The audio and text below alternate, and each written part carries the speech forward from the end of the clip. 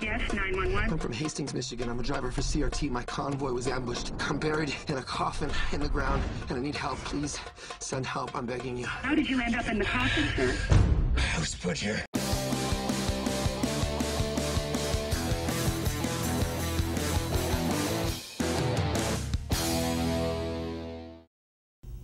Hi Cal TV, I'm Felicity Trevino and I'm here with special guest Ryan Reynolds for his new film True story. for his new film Buried, which is coming out in select theaters this Friday. So, what was it like working with the cast in this film? Um, you know, it wasn't bad. You know, there's an old expression on a film set: if you if you look around and you can't find the asshole, it's you. so I guess I guess I was the asshole. Um, yeah, no, cast was good. I think we cast showed up on time every day. Well cast knew all of his lines. cast was extremely Canadian. Yeah.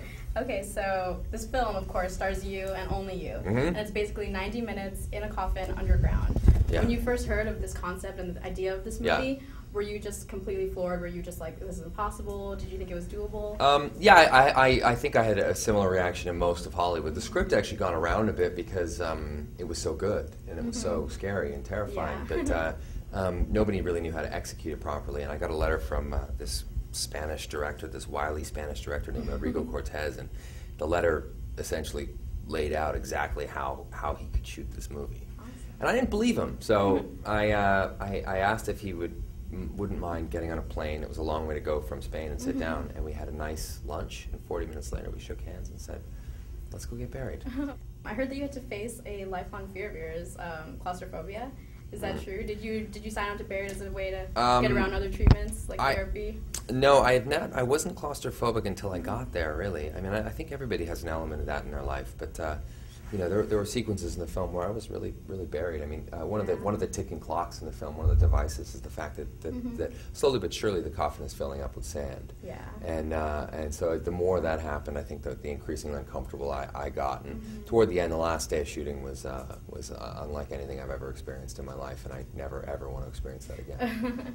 so they shot the film in 17 days. Can you explain what a typical day on set was like for you? um, most days I was buried in a coffin, um, but for the for the most part, it was uh, it was it was pretty grueling work. I mean, I you know I, I- usually am a very social actor. I have a lot of um, I, I have a lot of uh, uh, a lot of a, a great rapport usually with my director, and it's very social and that sort of thing. But in this film, it was uh, just the opposite. It was pretty. Yeah.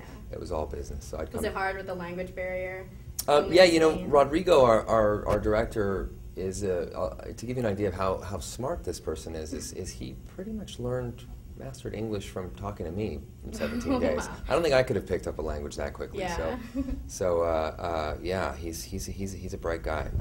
Is it is it true you developed a bald spot from laying in the coffin? That is true. No, I, I actually wore away the back of my hair on the on the uh, the sand on the coffin. Was it really painful? Did Um, you get like bruises in there? Yeah, you get. I mean, you yeah, you get beat up pretty badly, much more than I ever thought I would. I think the, the film was was about hundred times more physical than I thought it would be. I mean, I'm, I'm all over the coffin, turning around, jumping. Yeah.